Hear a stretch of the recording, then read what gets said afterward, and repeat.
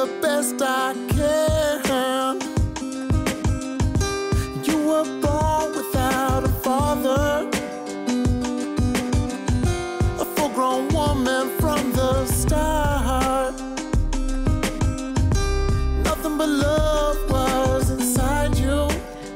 And welcome to France 24's weekly music show. I'm Marjorie Hash.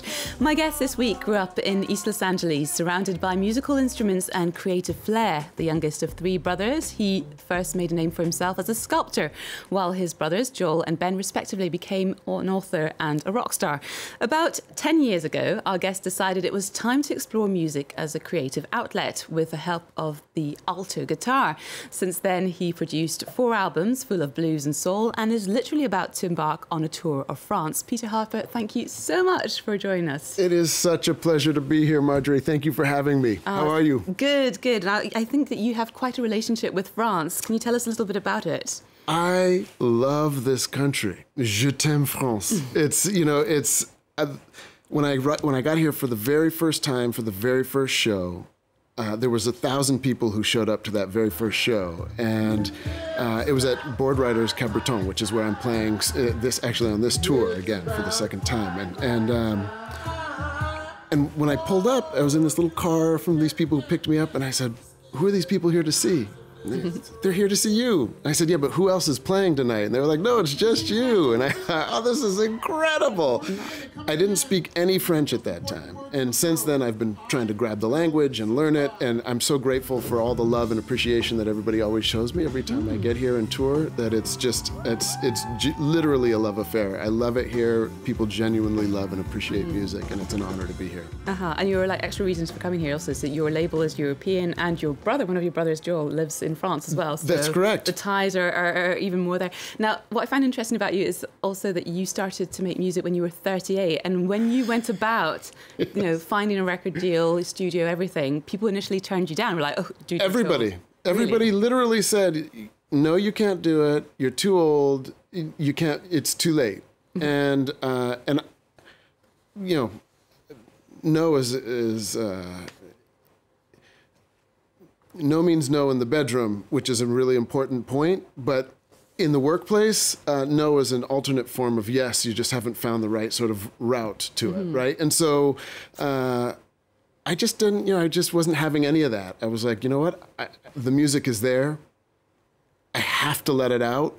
And if people don't want to hear it, then I won't be able to build a tour with it and I won't be able to do anything with it and it'll all fade. And here we are. The only way forward. So that's Oh. good. Resilience is uh, something quite interesting. How about we check out uh, one of the videos for your last album? It's uh, the title track written before the pandemic, and it's called Survive. Yes, indeed.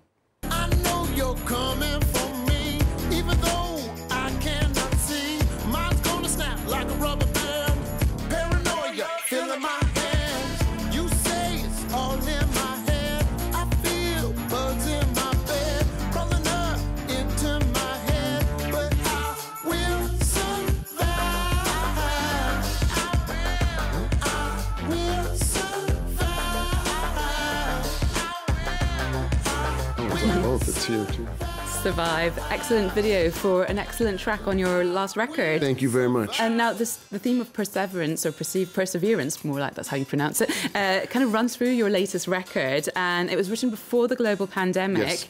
Um, I know your next album is in the pipeline. yes. Can you tell us a little bit about the themes of what to expect on that one? Yeah, there's a it's a real mix. Uh, there's everything from uh, like really gentle, sort of soft love songs to uh, very aggressive, politically active music. That's you know we're coming, uh, and it's it's a it's a great mix of music that's going to have people dancing and bobbing their heads and getting out of their seats, and also just like you know that moment where you're thinking like, okay, I got to set the mood.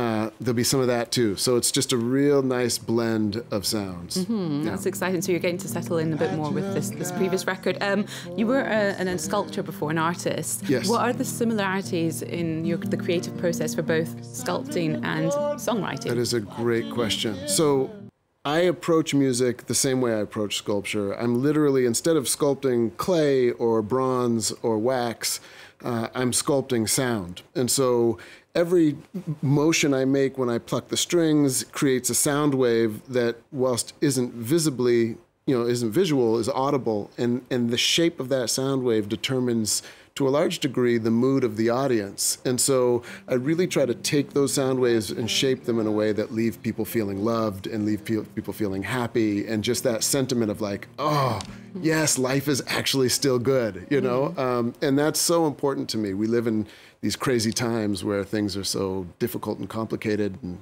post-covid and still covid and all that other stuff and war etc it's nice to have sort of a breath of fresh air.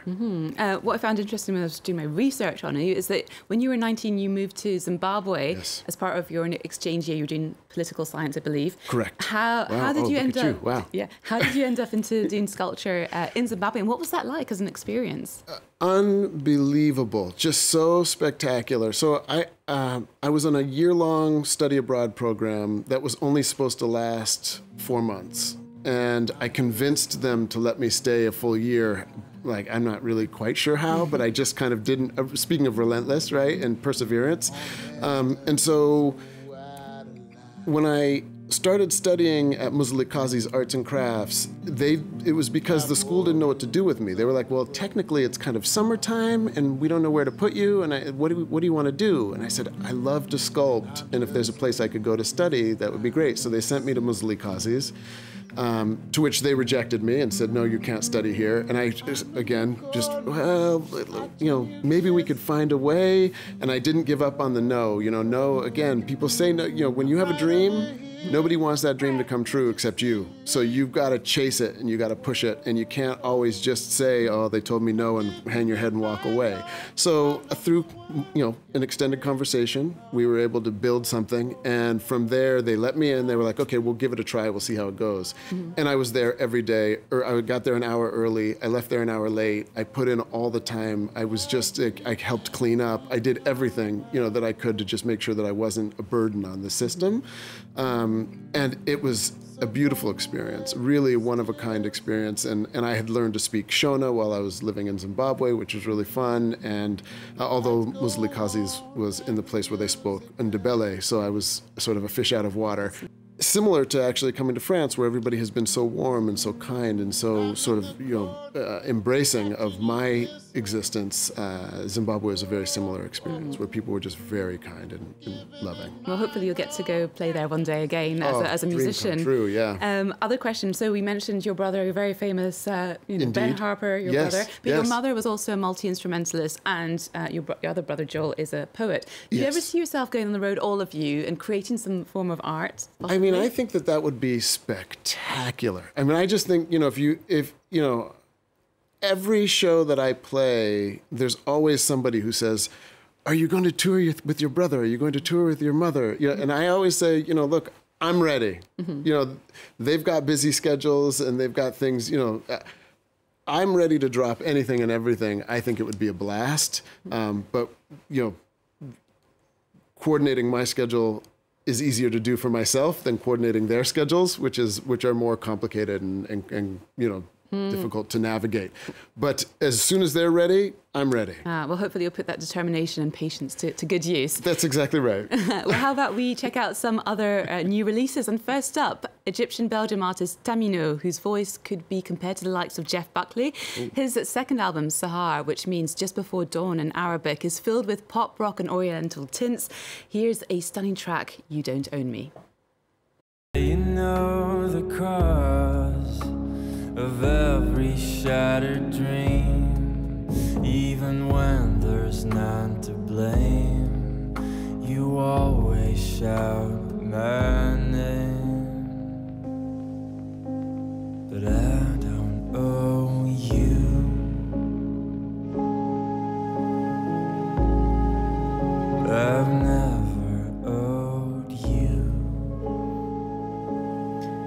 Taken from Tamino's new album that's all, that also features a track with Belgian pop star Angèle and was produced by Radiohead's Colin Greenwood. Um, now, anyone you'd like to work with in particular, Peter? Oh, you know, I absolutely. The, I'm going to say this. I know this is a little bit wild, but you, when you said come on the show and you sent me a link to prior shows, you had Ben on here the other day. And L'Oncle Soul. Oh, yeah. Uncle Soul. And I thought, man, that guy is so great. I would Ah. love to connect with him. I mean, there are tons of people in the world who would be fun to work with, Mm-hmm. but I, he, he's just got a great vibe, He's a your new music beautiful voice, and yeah, he's my new music crush. exactly, that's exactly right. Ben, if you're listening, Come on. well, how about we move over to English DJ, rapper, and producer Shygirl, who has been around for a while and is used to merging different genres with melodic pop and fractured electro, and working with avant garde pop producers like Arca, FKA Twigs, or Sophie. She's finally delivered her debut album, Nymph. Here's her track, Shlut. Woke up feeling like a slut, yeah, I like that. Hit a couple guys that can cut, I'm a bad bitch. Low down, dirty when I like, and I like it, yeah. Tell you what I want, I better find you here, ready and waiting and willing to keep me entertained twice nightly, weekly. Body right, pussy tight, you can tread it easy. Never mind, I'm fucking with myself.